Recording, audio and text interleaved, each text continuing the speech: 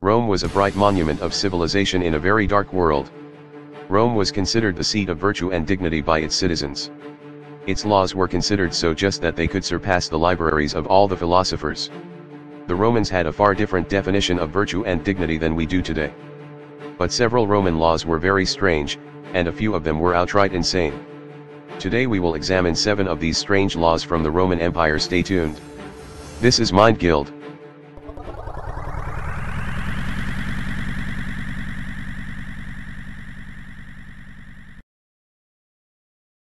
Number 1, wearing purple was a crime. Purple, in ancient Rome, was viewed as the most majestic of all colors. Purple togas were reserved for the emperor, because purple dye was incredibly expensive. The law against wearing purple was a Roman law designed to keep lower classes from making extravagant displays of wealth. Romans wanted to be able to take one look at somebody and know their social standing.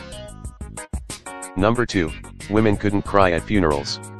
A Roman funeral began with a procession, where people would weep as they walked the body down the street. The more people you had weeping, the greater your status. Thus, people actually hired professionals to pretend to cry. Women who didn't even know the deceased would be paid to cry at funerals, literally ripping out their hair as they went.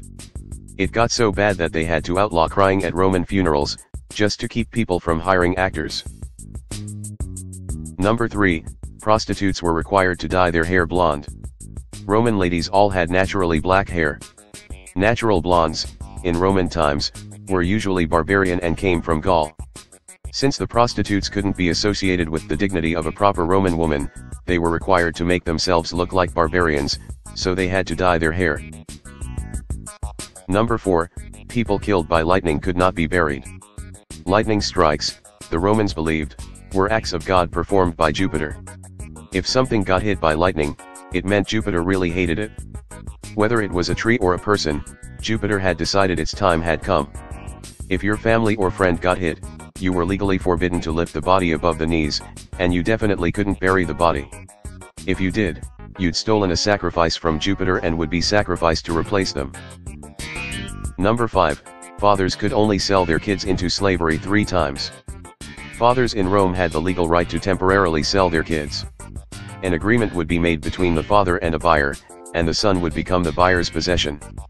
The buyer, as part of the bargain, was expected to bring the kid back home. The limit was three sales into slavery per child. Number 6, women became the legal property of husbands. Romans had laws on how long you had to possess something before it became your property. This included people as well. Wives became their husband's legal property if they stayed in his house for one straight year but if she really wanted her freedom, she would have to leave her house for three continuous days each year. Number 7, fathers could legally murder their whole family. In the early days of Rome, there was no limit to what a father could do to his family. He could dole out any degree of abuse he could imagine. If his children misbehaved, he could straight up murder them. Fathers held on to those rights even after their kids grew up. Daughters still had to fear their fathers after marriage, and his sons only earned independence when their fathers died. We thank you for taking time out to watch our video. If you enjoyed this video, we would appreciate it if you would hit the like button below and leave a comment about your thoughts.